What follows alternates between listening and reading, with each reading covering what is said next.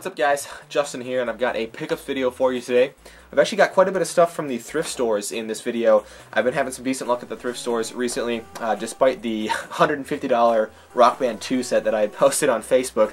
Uh, prices at the Goodwill are getting pretty ridiculous now, but I actually did have some luck there last week, so I'll start out by showing what I found. Uh, it was kind of a weird variety of stuff to find all on one day, but I got a couple NES games here. And it's been so long since I found any NES games at the Goodwill. There's actually four of them there that day. I only ended up picking up two of them though. Uh, the first one I got here was Arkanoid. And uh, as you can see, it was $3.99. And I'm very glad that Goodwill is finally putting the prices on their price tags. I'd gone on that mini rant a while back about how they just put like generic color stickers and I, I never knew how much I was going to get charged. So it's good to see that they're actually putting the prices on the games now. Uh, $3.99 though is twice as much as I used to charge for any cartridge game. So it's kind of disappointing in that regard, but at least I don't have to wonder anymore what they're going to charge me. So I actually did not have this game, so I was happy to pick it up for my collection. I believe this one had that special controller that you could use to play it. I, I don't think it's required to play the game, but um, someone could correct me if I'm wrong. But uh, either way, I was happy to get the game for my collection, and I'll be looking out for the controller for it. And the other NES game I got was Mike Tyson's Punch-Out! But oddly enough, as you can see, this one was $6.99 and I didn't even realize that while I was in the store. I went up and I, I paid for everything that I bought, and I was kind of, while I was walking out to my car, I was kind of like doing the math in my head for my total, and I was like, wait a minute, I was like, that doesn't seem right. And then I checked my receipt, and I was like, six ninety nine for what? And I looked at the game, and sure enough, six ninety nine.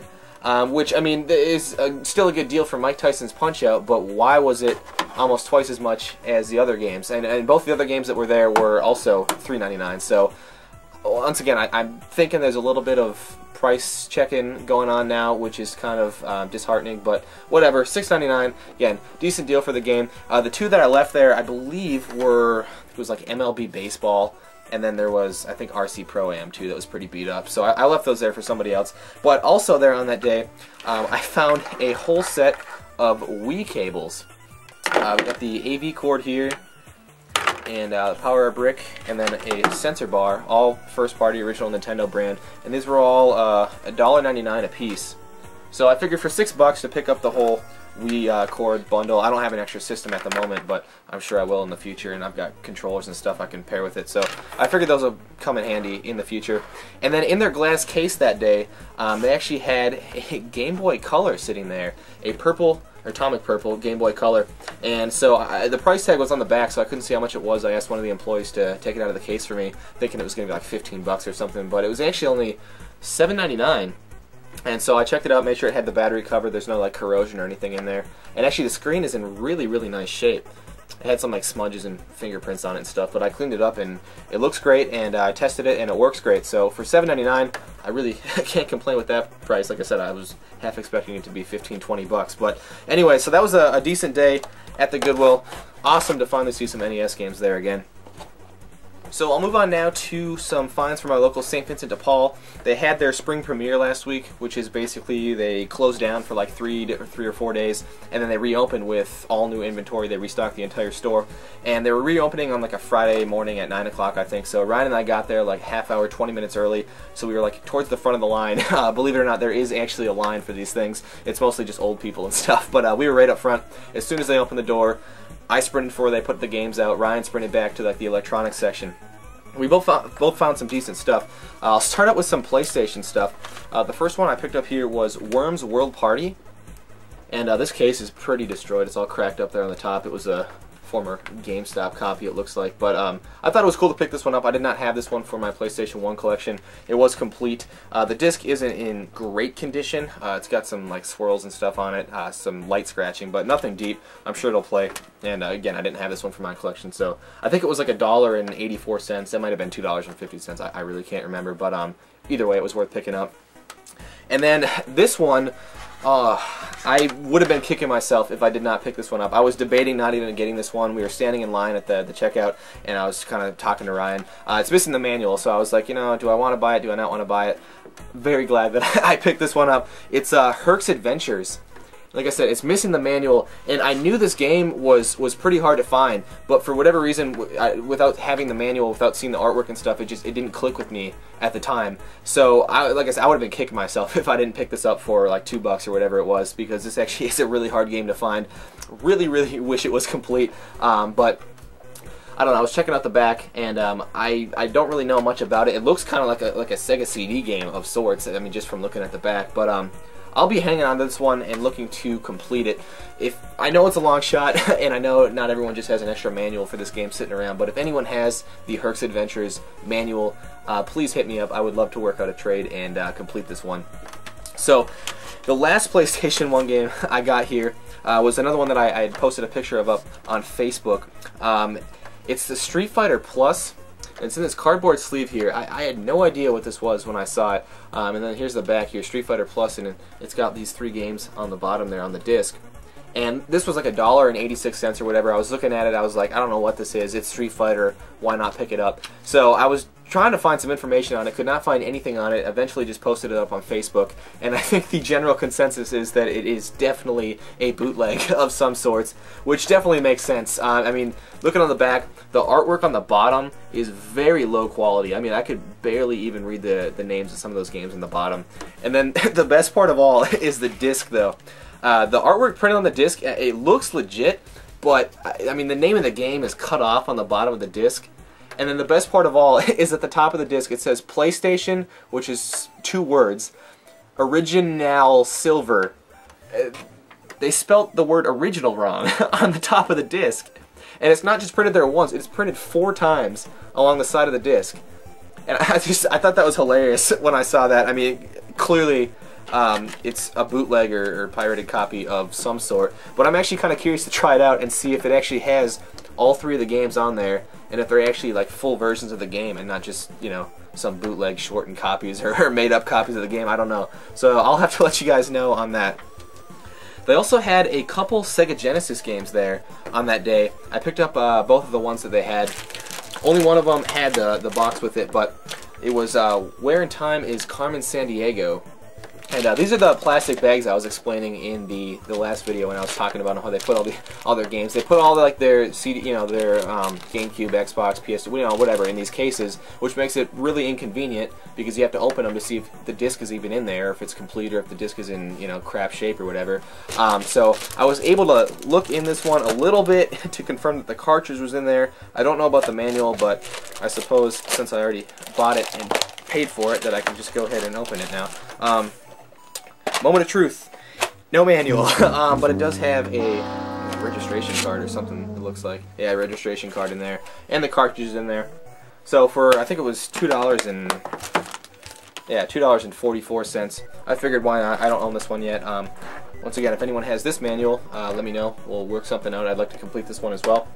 And then the other Genesis game they had there was just a loose cartridge, but it was definitely worth picking up for two dollars and forty-four cents.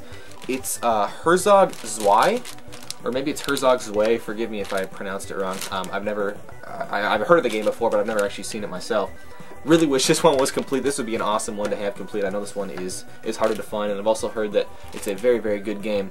But um, I mean the cartridge is in decent shape. It's got a little bit of wear at the top, and then it's got this sticker over here that I can probably easily take off. So for two dollars and forty four cents, hell yeah, definitely picking that up.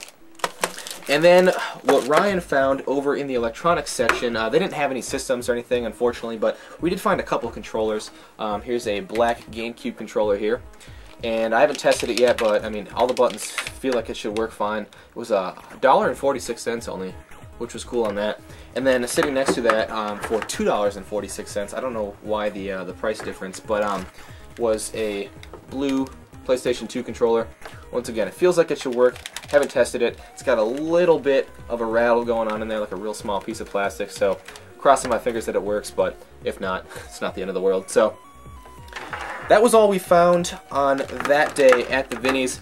Uh, my total was, uh, actually my total was like 30 some dollars. I actually did pick up something else. It was uh, a record player, and um, I don't normally like buy record players or records or anything, but um, it was actually one of those Crosley uh, Stack-O-Matic record players. That's it's from like 2004. It's newer, but it's like briefcase style, so it folds up and it's fully transportable and everything. And it was only 15 bucks, so I thought it was really cool. I figured it was worth at least 15 bucks just to even mess around with. I got some records lying around the house or whatever, so I've been having some fun with that. Now, after we left the St. Vincent de Paul, uh, Ryan and I were hanging out for a bit. He had to take off and go to work, but on my way home, I actually stopped by a local resale shop. It's not like a thrift store or anything, it, it's more of like a resale store. And I never really go there. They never really have anything video game related, but it's in the same parking lot pretty much as the gas station that I always go to and I was filling up my gas tank anyway so I figured I might as well just stop in.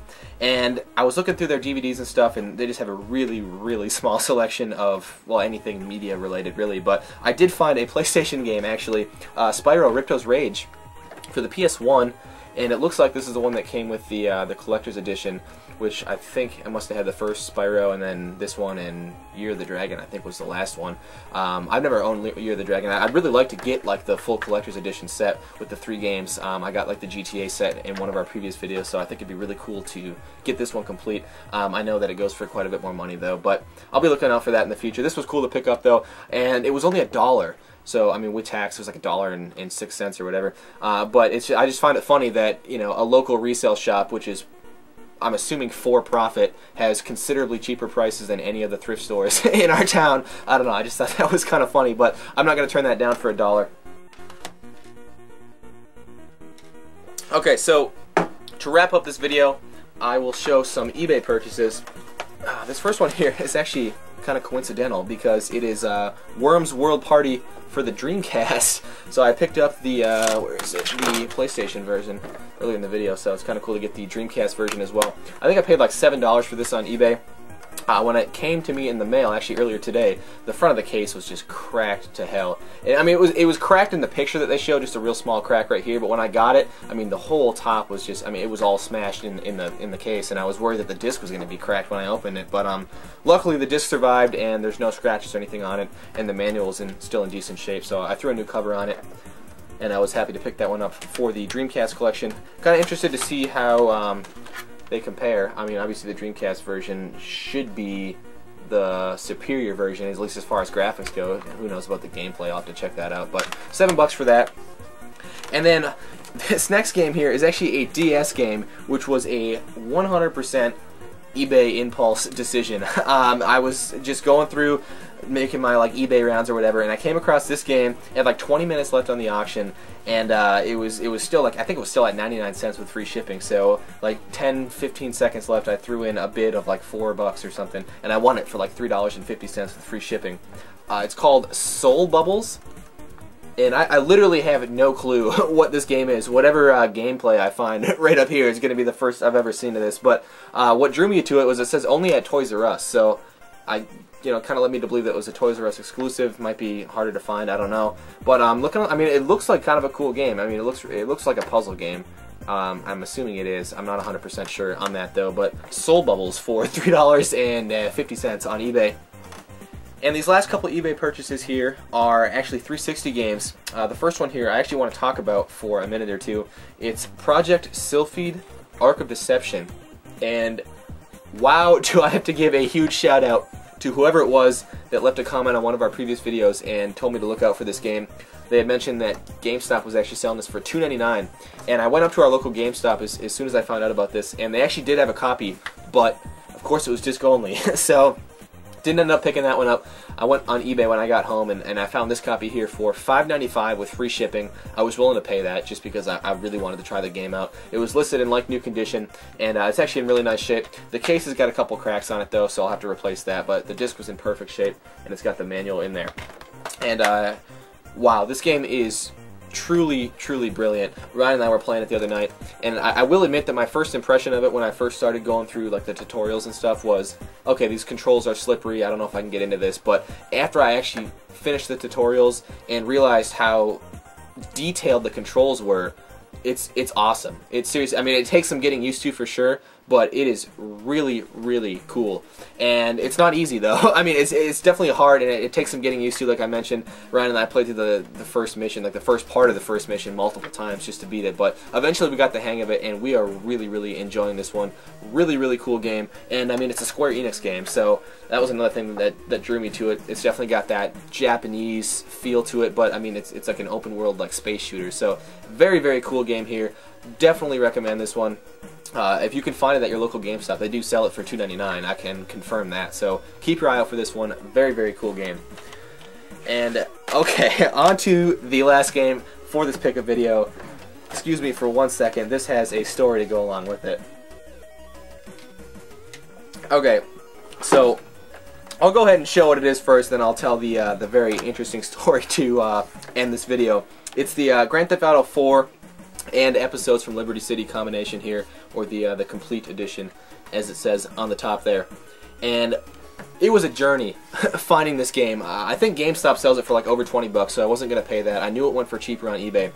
And this is actually not the first copy of the game that I received from eBay. The first one I ordered, I got it for like $5 with like $3 shipping and it was listed in very good condition. It was a stock photograph, but it said very good condition, complete, everything's in there. And what I received was one of the most beat up games I had ever seen in my life.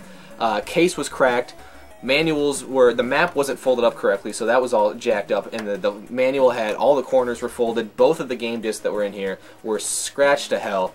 And so I messaged the, the seller about it, and I was like, you know, can I either return this or I'm going to have to get, you know, half refund or something. I, I figured if I could get like, you know, four or five dollars back, I'd just keep it, whatever, figure out something to do with it, buy myself a new one. But the seller was very upset with me, didn't they offer me like a, like a dollar or two refund, and eventually I was just like, you know what, I'll just, I'll return the game. Uh, it's going to cost me two dollars and some change to return it, and I'll get my eight dollars back or whatever. So ended up returning that one. They were not happy about that, but I was not happy with the condition at all. So then I ordered this one.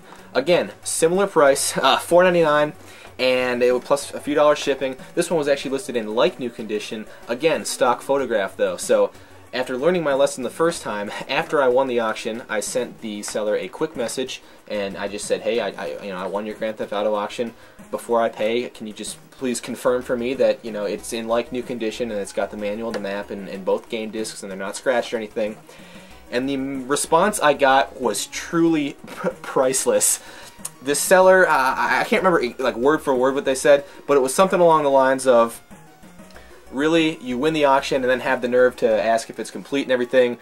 And it went as far, they went as far as to say that they would rather throw the game away than sell it to me, and that they were never ever going to send me the game no matter what I did. And I mean, like, what do you even say to that? It was like an $8 transaction. So I looked at their feedback. They had like 650 some feedback, 100% positive. So, like, my response was just, you know, like, really? You're going to ruin your perfect feedback over an $8 transaction? And then after another message of, of similar fashion, try, bashing me uh, for being a horrible eBayer and everything, about a couple minutes later, I got the apology message. Oh, sorry, you know, didn't mean to offend you. I, this is the third time I've sold the game, and uh, you know, no one's paid for it so far. I'm really frustrated. I'm sorry. And I, I, just didn't even respond. I was so over it at that point. I was like, screw it, I'll just buy it from somebody else. I don't care. Uh, but of course, they opened an unpaid item case. I'm assuming to get their fees back and stuff. And I finally sent him a message and said, hey, you know, what's the what's the deal? Like, if I pay for it, are you gonna send me it? Is it in like new condition? And they told me that it was uh, in like new condition. That the map manual had never even been taken out. And again, that they were like sorry for offending me or whatever. And so I paid for it, whatever. Finally got in the mail, and um, I actually am very happy with the condition. You could tell that it was actually never even played. I mean, both discs are flawless, and these you could tell were never even taken out of the case. So. After all that, I finally have myself a copy of this game. Um, I'm probably not going to play through GTA 4 again. Ryan and I played through most of that one anyway, and, and to be honest, it really was probably my least favorite GTA game. Um, but GTA 5 was awesome, and I heard that episodes from Liberty City is actually pretty cool, so I'm excited to check that one out. But anyway, um, that was all I had to show for this pickup video. Sorry about that little rant there. I just figured I would share that story with you guys. Anyway, I want to thank you guys for sticking around and checking out the whole video. And until next time, Take care.